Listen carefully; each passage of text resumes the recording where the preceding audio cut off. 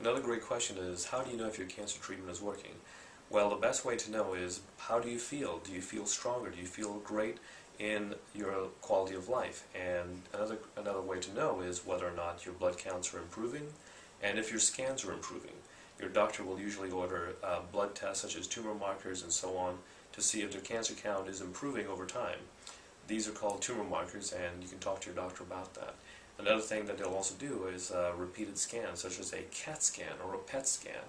This will allow your doctor to be able to see whether or not your cancer has gotten better since the initiation of your therapy.